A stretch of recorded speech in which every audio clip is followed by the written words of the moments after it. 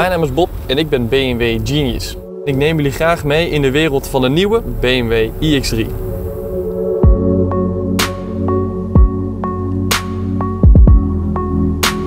De efficiënte aandrijving van de nieuwe BMW iX3 zorgt voor een gemiddeld verbruik van zo'n 18,5 kW per 100 kilometer. Daarmee is hij tot wel zo'n 15% zuiniger dan andere auto's in dit segment. Aan boord van de BMW iX3 zijn tal van slimme systemen die ervoor zorgen dat wij het maximale uit onze range kunnen halen. Denk daarbij aan het zorgen dat de auto op bedrijfstemperatuur komt voor vertrek en het, een aantal rijmodi die ervoor zorgen dat grootverbruikers geminimaliseerd worden. Stel, ik ga hieronder naar de Eco Pro modus, die kan ik uiteraard zelf daarin configureren en dan zien we wat de auto daar allemaal doet. We zien dat hij de stoelverwarming gaat minimaliseren. We zien dat hij de klimatisering gaat minimaliseren, want de airco speelt nou eenmaal een hele grote rol in het verbruik. Uh, en het licht en zicht. Dus hij gaat ervoor zorgen dat de verlichting, de verwarmte ook vooral van de spiegels ook geminimaliseerd gaat worden. En dat komt allemaal weer de range ten goede.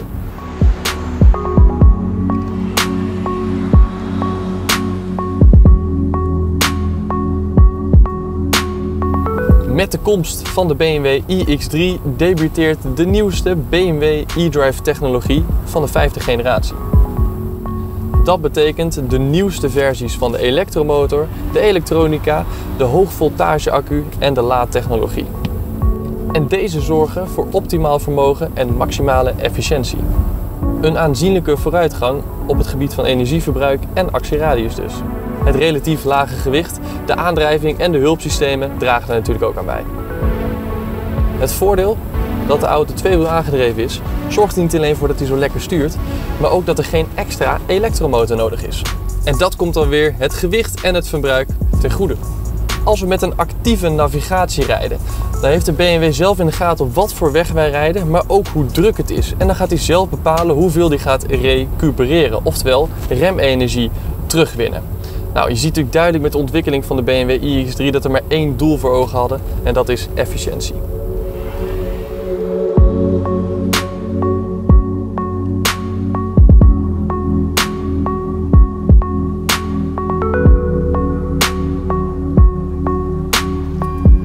Nou, eenmaal aangekomen op locatie moeten we natuurlijk ook gaan laden. Het liefst zo vaak mogelijk, hoe voller de accu, hoe beter. Nou, dat gaat allemaal heel erg gemakkelijk. Je doet de ene kant van de stekker in de BMW en de andere kant van de stekker doe ik in het publieke laadpunt. Dit publieke laadpunt, zo, is er toe in staat om wel 22 kilowatt per uur te laden. Deze BMW iX3 heeft een netto capaciteit van 74 kilowatt. Dat zou betekenen dat hij in iets meer dan 3 uur al vol kan zijn zijn we eenmaal aangekomen bij een snellaadstation. Dat is dit niet, maar dat kan natuurlijk wel. Uh, dan kan de BMW iX3, als het snellaadstation dat zelf ook kan, wel 150 kilowatt per uur laden. Dat is echt krankzinnig veel. Daarmee laat hij in 10 minuten 100 kilometer bij en is van 0 tot 80% te realiseren in slechts 34 minuten.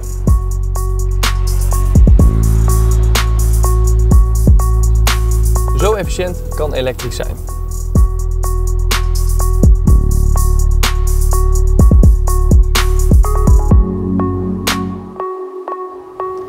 meer weten over de nieuwe BMW iX3? Neem dan contact op met jouw BMW dealer.